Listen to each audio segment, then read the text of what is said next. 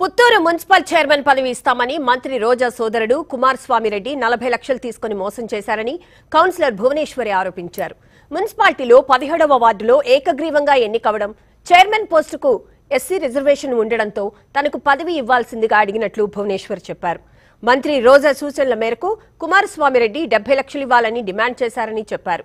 అయితే అంత ఇవ్వలేమని చెప్పి అప్పు చేసి నలభై లక్షలు మూడు విడతలుగా కుమారస్వామి రెడ్డి దగ్గర పనిచేస్తున్న సత్య అనే వ్యక్తికిచ్చినట్లు తెలియజేశారు. అయితే చైర్మన్ పదవి తనకు కాకుండా ఇతరులకు కేటాయించారని భువనేశ్వరి వాపోయింది. ఈ విషయంపై మంత్రి రోజాను పలుమార్లు కలిసినా పట్టించుకోలేదన్నారు. తనకు సీఎం జగనే న్యాయం చేయాలని ఆమె కోరుతున్నారు. చేస్తామన్నా సత్యాన్ని పంపించి మా ఇంట్లో డబ్బులు తీసుకొని పోయే వీడియోనా ఇది.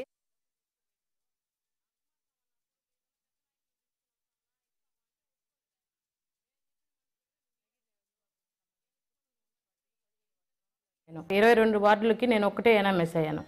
రోజా మేడం కలిస్తే రోజా మేడం వచ్చి అన్న పుత్తూరుకి ఇన్ఛార్జు అన్నను పోయి కలవండి అన్నతో మాట్లాడండి అని చెప్పి చెప్పినారు నాకు. అన్న దగ్గరకు పోతే మా ఆయన పిలిచి అన్న మీకే కదా చైర్మన్ ఇచ్చేది సెవెంటీ ల్యాక్స్ ఆఫర్ చేశారు. ఈ మరి డబ్బులు కావాలని చెప్పారు. ఏదైనా రిజర్వ్డ్ ఉంది కదా ఏందన్నా డెబ్బై లక్షలు అని అడుగుతున్నారు అంటే అదంతా అవదు డెబ్బై లక్షలు ఇచ్చి కావాలి అనేసి అన్న. అన్న అంత మా దగ్గర లేదనా అనేసి అంటే సరే నలభై ఎన్న ఇస్తామన్నా అంటే నలభైకి ఒప్పుకున్నారు. అది తర్వాత ఒకే ఒక్క రోజులో నైట్లో నా ఎలక్షన్ తర్వాత ఒకే నైట్లో మార్చినారు. ఏనా ఇది మరి చేసినారు అనేసి అని అంటే మీకు వేరే ఛాన్స్ ఇంకో ఇంకొకసారి ఛాన్స్ ఇస్తాం పొండి. రెండేళ్ళు అన్నారు. రెండేళ్ళ తర్వాత ఇస్తాం పొండి అని చెప్పి మాకు సర్ది చెప్పి పంపించేసినారు. రెండున్నర సంవత్సరం దాకా మళ్ళీ పోయి అడిగితే లేదు ఇప్పుడు కాదమ్మా అది కూడా పదవి కోసం రెండు నెలలు తిరిగిన. రెండు నెలలు తిరిగితే మళ్ళీ ఇప్పుడు కాదు ఎలక్షన్ తర్వాత అన్నారు. అటైతే వద్దులేనా? ఊర్లో ఇప్పుడు విలువ లేకుండా చేసినారు మాకు. మాకు పదవి గిద్దం ఏం అవసరం లేదు. నా అమౌంట్ నాకు ఇచ్చేయండి. మేమే అప్పు తెచ్చి తెచ్చిచ్చినామన్న డబ్బులు. రిజర్వ్డ్ ఉన్నా కూడా మేము డబ్బు ఇచ్చి మేము పదవి తెచ్చుకోవాల్సి వచ్చింది.